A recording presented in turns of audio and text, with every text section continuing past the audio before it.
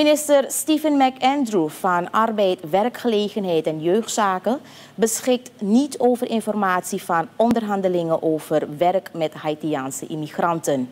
Hij deelde dit gisteren mee aan journalisten voor aanvang van de reguliere ministerraadsvergadering. De bewindsman zegt dat hij wel weet dat er mensen uit Haiti zijn afgereisd, maar niet precies weet wat zij in Suriname zijn komen doen. Ik heb geen enkele informatie voor wat betreft Haitianen. Dus ik uh, zou in principe naar het ministerie moeten komen voor werkvergunningen. Ik weet niet of ze al hebben ingediend, maar voor de rest heb ik geen informatie. Wel, uh, ze hebben inreisvergunning uh, gehad, toch? Uh, dus ze moeten nu gaan werken aan een MKV en werkvergunning. Dus dat proces moet worden ingezet of is ingezet.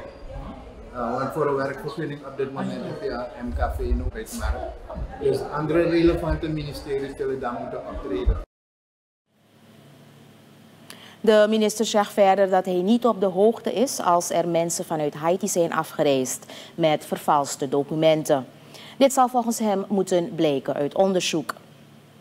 Het moet ook nog blijken als er mensen inderdaad zijn vertrokken.